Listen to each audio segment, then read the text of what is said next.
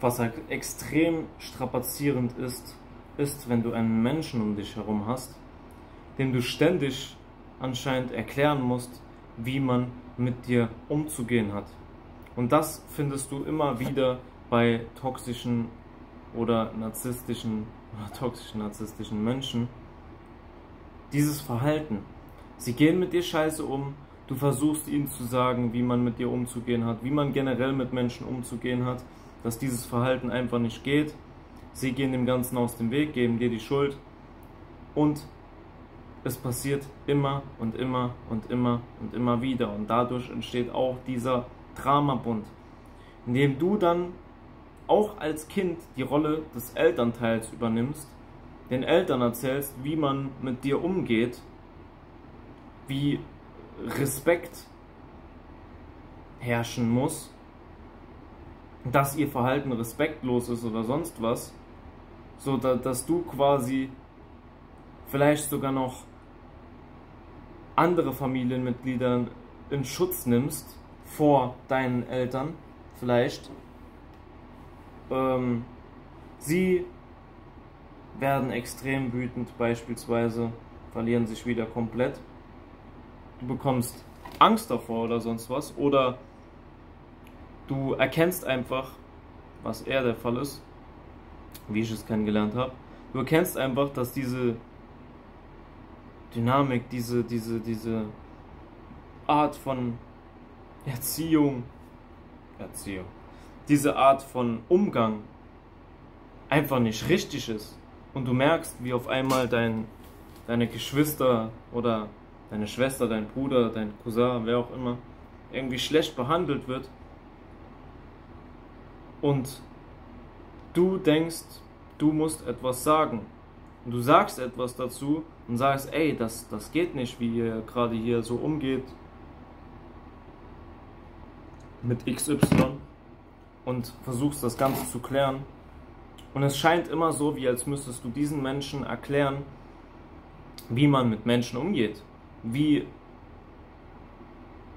Respekt sein sollte, wie der Umgang sein sollte. Und das, das raubt einem extremst die Energie.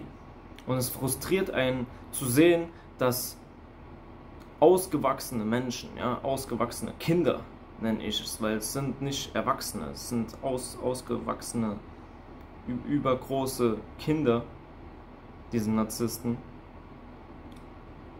Es frustriert einfach zu sehen, dass sie einfach nicht dazulernen. Sie behandeln dich immer und immer und immer wieder falsch. Und wenn du ihnen sagst, so, ey, dieses Verhalten war gerade nicht richtig, dann reagieren sie auch wie Kinder. Hey, immer hast du was Negatives zu sagen, immer meckerst du nur rum und alles mache ich falsch und, äh, und ey, wir machen ja auch nie was richtig. Und dann diese, diese dummen Entschuldigungen, wir sind doch auch nur Menschen. Und ich sehe es auch hier in den Kommentaren so, sowas wie, ja, wir sind doch alles nur Menschen, wir sind nicht dran schuld, jeder ist so wie er ist. Das ist keine Entschuldigung. Jeder ist dazu verpflichtet, sich selbst nicht nur zu bearbeiten, sondern an sich zu arbeiten. Wenn er merkt, okay, ich habe etwas Falsches getan, liegt es an mir, das zu beheben.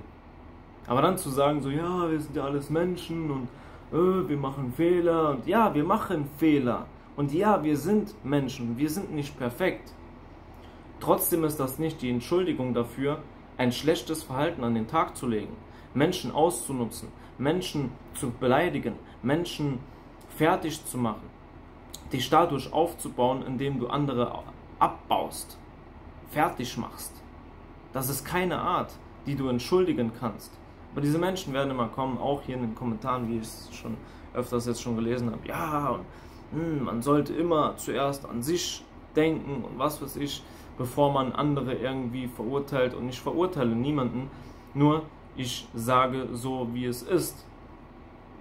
Weil das, was ich hier sage, offen, sage ich auch selbst zu mir. Also ich bin immer ehrlich zu mir.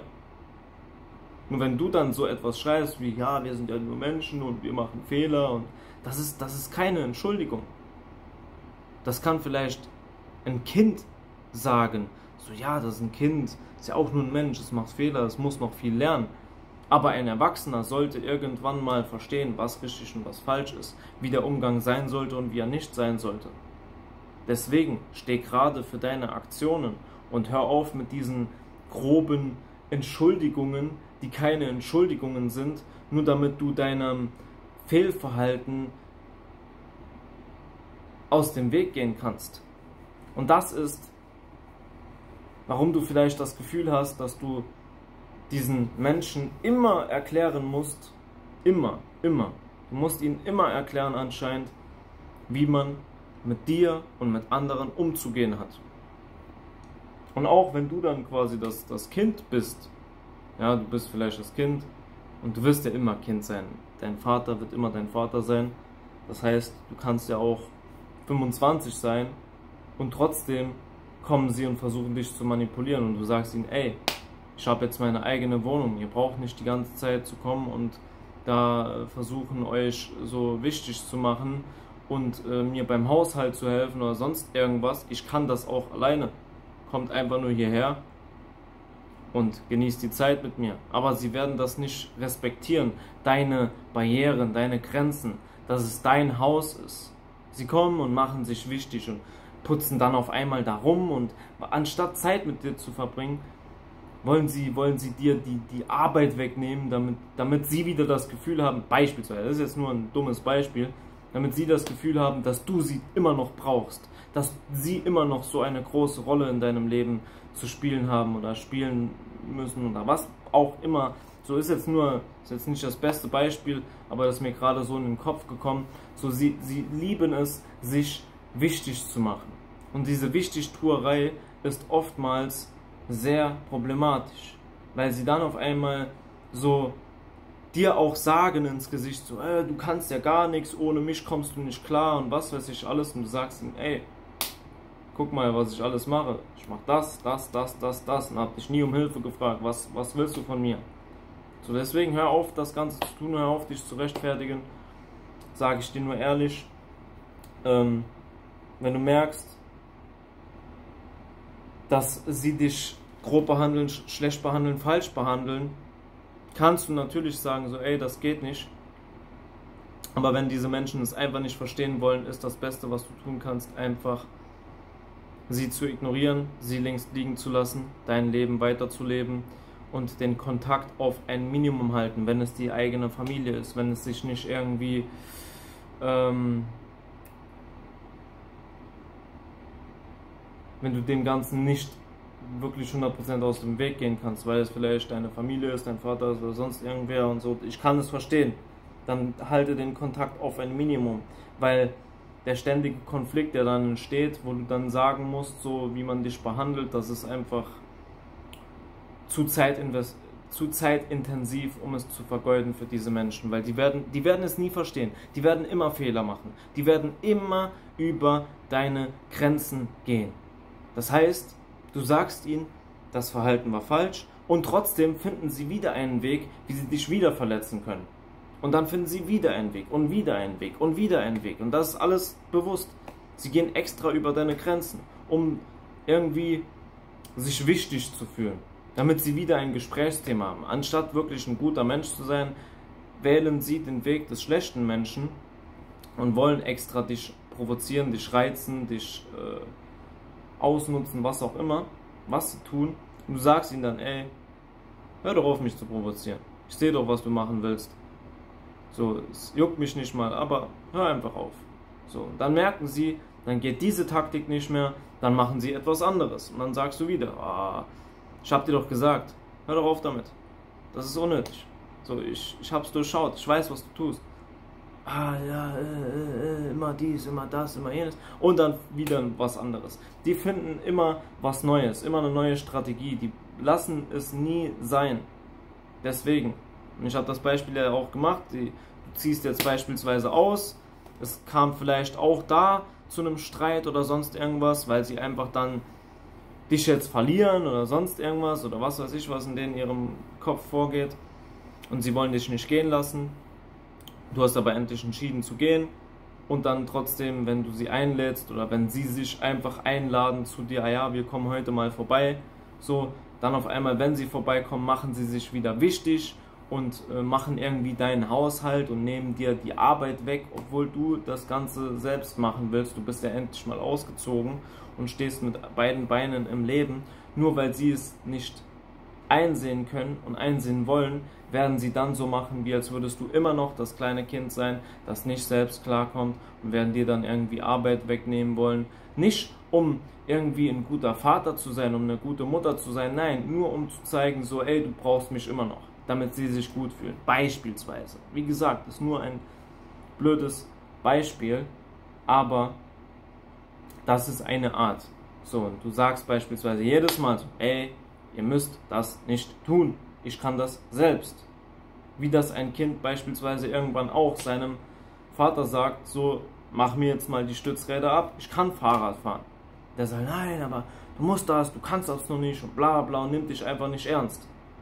Und du versuchst deinem Vater zu erzählen, so, ey, ich kann das. Ich hab das drauf. Und sie geben dir immer das Gefühl, dass du irgendwie nicht genug bist. Und du versuchst dann, ihnen zu zeigen, dass du genug bist. Und das, das ist alles zu zeitintensiv. Das vergeudest deine kostbare Zeit. Deswegen, in diesem Sinne, was kann ich dazu noch sagen? Bewahre deinen Frieden. Mach dir selbst klar, was du kannst, was du nicht kannst natürlich auch, aber was du kannst was du drauf hast und lass dich nicht irgendwie manipulieren, lass dich nicht irgendwie ähm, negativ stimmen, nur weil sie dann sagen, ah, du hast das aber nicht drauf, du hast dies aber nicht drauf, obwohl du weißt, dass du es drauf hast. So, das ist auch alles Gaslighting, Manipulation und was weiß ich, damit sie sich wieder besser fühlen, damit sie sich wieder wichtig fühlen, so irgendwie um, um dich, damit die, sie, sie machen dich klein, um sich selbst groß zu fühlen. Du sagst ihnen, ey, du brauchst nicht zu kommen, und zu sagen, was ich nicht kann. Ich weiß ganz genau, was ich kann. Aber wie gesagt, je mehr du Zeit damit vergeudest, geht dir Zeit verloren und Energie noch viel mehr. Deswegen mach dir selbst klar, was deine Grenzen sind und lass sie nicht mehr übertreten. Das heißt, wenn sie das nächste Mal kommen und übertreten diese Grenzen, mach klipp und klar, sag klipp und klar deine Grenzen und lass sie dann wirklich nicht mehr lass es nicht mehr zu, dass sie deine Grenzen übertreten, indem du einfach dann wirklich dich entziehst, sie komplett links liegen lässt, dein Ding machst und ihnen zeigst, so mit mir macht man das nicht. Ich habe was Besseres verdient. Ich lasse das nicht mehr zu, dass du mich so behandelst. Du kannst einmal, zweimal, dreimal dasselbe sagen, so ey, so wie du mit mir umgehst, das ist nicht richtig. Aber ein viertes, fünftes, zehntes Mal gibt es nicht. Das sollte es nicht mehr geben, weil das ist Zeitverschwendung. Wenn jemand das nicht verstehen will, Lass ihn gehen. Lass ihn gehen. Auch wenn sie immer wieder versuchen zurückzukommen. Du kannst, du kannst sie auf einem gewissen Grad zurücknehmen, kannst sagen so, ja komm, wir verbringen jetzt diese Zeit, aber halt es oberflächlich. Wie gesagt, ich kann es verstehen, wenn es deine Familie ist und du willst nicht loslassen, so bla bla bla, kann ich zum Teil verstehen. Nur trotzdem sage ich dir, um dich selbst zu schützen, geh nicht auf ihre Manipulationen ein wenn sie dann versuchen, sich wichtig zu machen und du versuchst dann irgendwie für dich gerade zu stehen und dann zu zeigen, so, dass du es drauf hast und was weiß ich alles. Sie, sie sind wie kleine Kinder, sie müssen sich immer beweisen und dir es beweisen und was auch immer. Deswegen habe ich auch gesagt, sie sind übergroße Kinder. Es ist einfach so, wie es ist. Es ist so, wie ich sage. Sie sind übergroße Kinder. Du kannst ihnen noch so oft sagen, dass sie etwas falsch tun, sie werden es trotzdem immer und immer und immer wieder tun, weil sie einfach dieses Kind in sich haben, das immer Grenzen überschreiten will und muss. Deswegen, in diesem Sinne, wir sehen uns im nächsten Video. Ich hoffe, ich konnte dir helfen. Und wenn es dazu Fragen geben sollte, ich denke, das war jetzt kein perfektes Video.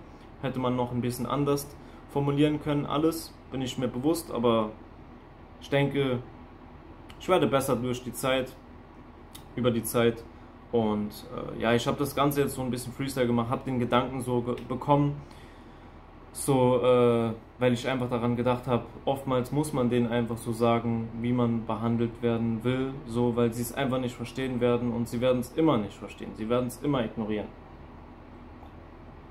Deswegen entschuldige mich, wenn es so ein Hin- und Her-Video war, von dem Thema zu dem Thema, aber es ist so wie es ist. Du kannst niemanden, meiner Meinung nach, dazu bringen, dich gut zu behandeln. Entweder behandelt dich jemand gut oder er behandelt dich schlecht und dann musst du das Ganze akzeptieren. Deswegen, in diesem Sinne, Peace out.